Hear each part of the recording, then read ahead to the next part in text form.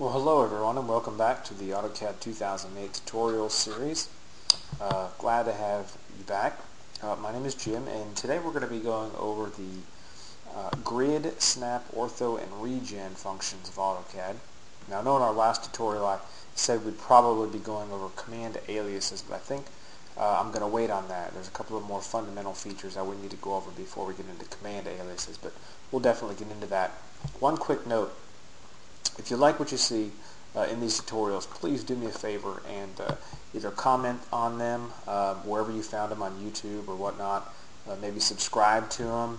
Uh, better yet, if you want to, go to cadeeze.com and register with me. Uh, that way I can kind of keep you posted when we update new videos and if I make any changes to this site, maybe some downloads or something like that. Haven't decided exactly what I'm going to do, but I'd love for you to register and that way we can keep in contact. I'm not going to sell your email address or anything like that, so don't worry about that, but I'd love to have you join. Anyway, let's go ahead and get started. Uh, first of all, let's talk about using our grid. Uh, this has a lot to do with um, when we set up our drawing limits in the last tutorial. Uh, this is a real good reason why we want to set our drawing limits to something useful. Um, to turn on our grid, go down to the status bar, and if you click on grid, it's going to turn on your grid and you'll see down here in the bottom left hand corner you see some dots. Well, I'm going to zoom in to the, to the limits of my drawing. We're going to get into some zoom commands later on, but right now I'm just going to show you real quick how to do this. If you go to your view pull down, go down to zoom, slide over and go all the way down to all. That's going to, when you do a zoom all, that's going to zoom the window, your drawing window, to the limits of your drawing. In other words, it's going to show the limits of your drawing. Now, when I have my grid on, my grid will be displayed to the limits of my drawing. Okay? So as the limits of my drawing changes, so do the limits of my grid. One reason, or another reason why we like to set the limits of our drawing. Well, what about the spacing on this grid? Well, it's real simple to change. If you go over to your grid button, if you hit your middle mouse button, there will be a little pop-up window or a window that pops up. If you go to settings, now my settings is actually dropped off the screen, but if you go down to settings, you'll uh, it'll bring up a drafting settings dialog box. And on the right hand side, under the snap and grid, on the right hand side, you'll see that I've got grid on and it's got my X and Y spacing. Right now it's set to 0.5 in both the X and the Y, and I've got adaptive grid on. And uh, let me go ahead and switch this to, let's say, 1 in the X and 1 in the Y and hit OK. You'll notice that the grid changes. And now my grid, the dots there, are 1 unit apart as opposed to a half a unit or 0.5 units apart. I'm going to set it back 0.5. And here I'm going to turn my snap on. Now turning the snap on here is the same as turning it on down here in your status bar. But I'm going to turn my snap on and that should have been set, sorry about that. I'm going to go ahead and turn my snap on and I'm going to make sure my snap setting is at 0.5 as well. I'm going to hit OK. Now notice my cursor snaps to, not to my grid, but it actually snaps to every 0.5 unit or half a unit. I just happen to have my grid set at a half a unit as well. That's why it looks like it's snapping to those little dots. If I want to change my grid, I'm going to go back to my settings here, change my grid to 1 unit in the X and 1 unit in the Y, hit OK. Now my snap, still set at 0.5, is snapping to every half a unit, and it's snapping between and on each one of those grid dots. Now, these are just little drafting tools that you can use to help you draw. Um, now that, that way if I'm drawing a line and I know I want it two units, well I can just go to across two dots, uh, one unit up, two units across, one unit down, whatever I want to do.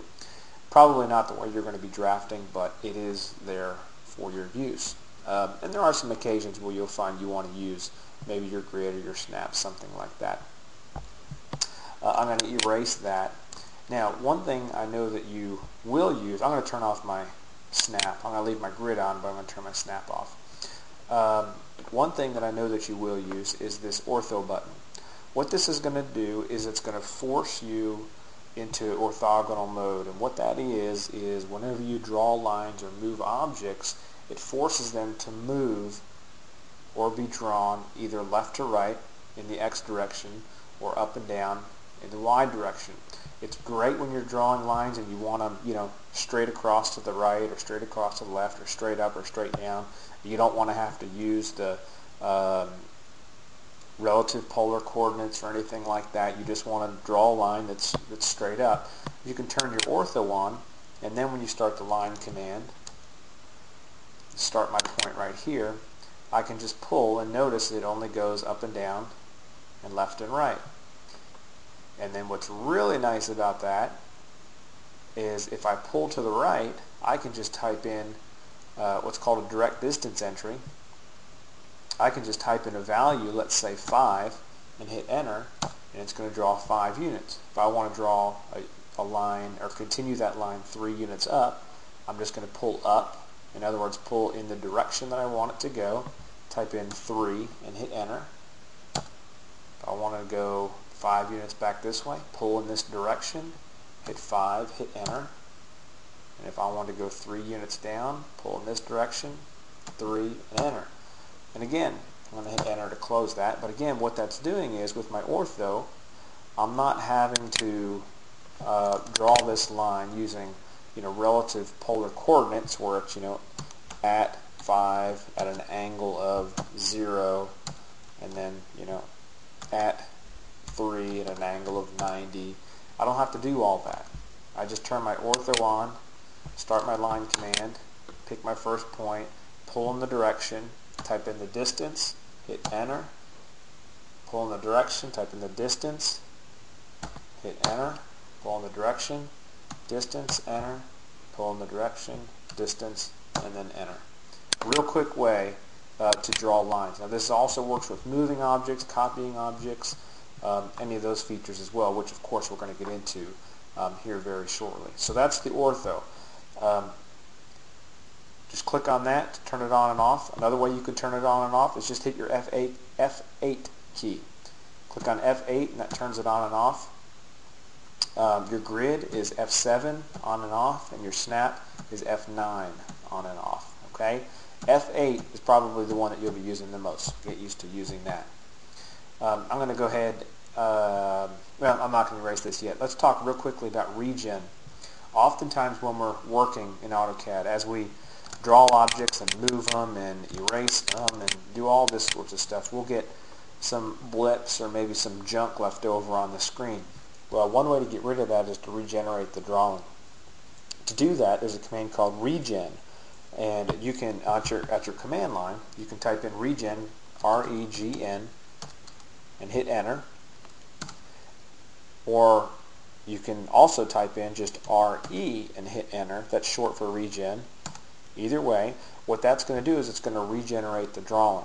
Now, most of the time it takes less than a second to do that, but if you've got a very large drawing, it might take a second or two to regenerate the drawing because what AutoCAD's doing is actually redrawing the entire drawing from start to finish. It's accessing the in within the DWG file, it's accessing accessing the database and redrawing the entire drawing. Um, that's good to get you know blips or errors or anything like that out of the way and give you a fresh uh, look at your drawing. You know, you don't get it as much as you used to, um, but we still use regen a lot. So again, to access the regeneration command or regen command, type in R-E-G-E-N at the command line, or you can just type in R-E and hit enter. That'll do the same thing. Okay, so that is, uh, real quickly, that's grid, snap, ortho, and regen. And uh, hope you enjoyed it. Hope you learned something. Uh, definitely look forward to you coming back. And we're going to continue on. We're going to get through AutoCAD, okay? So I appreciate you hanging with me and uh, look forward to visiting with you next time. Thanks so much. Bye-bye.